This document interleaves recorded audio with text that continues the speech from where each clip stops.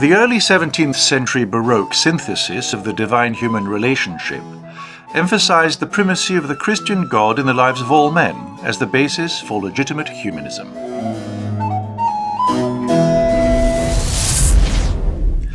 The so-called Enlightenment of the 18th century tore apart the components, emphasizing matter over spirit and pushing God far away as a remote cosmic architect. In the first half of the 19th century, spirit prevailed once again over matter in Romanticism. This effervescent movement was opposed by a renewed scientific materialism and itself fragmented into varieties of utopianism, sentimentalism, psychologism, existentialism, and pessimism.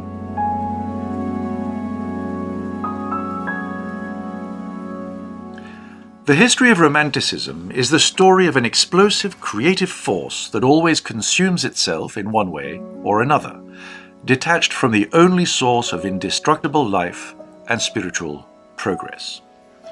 Such is the thesis of the triumph of Romanticism, an ambitious historical and philosophical study penned by the American Jesuit Father Gerard Steckler, who was born in 1925 and died in 2015 and who served as a chaplain at Thomas Aquinas College in California from 1982 to 1993.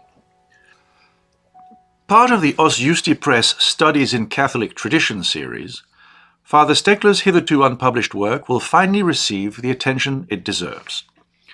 With vivid prose and Thomistic insights, poignant quotations and humorous asides, the triumph of Romanticism shows how thought and art forms from the end of the Napoleonic Wars have left their mark on every aspect of the Western civilization we inhabit today.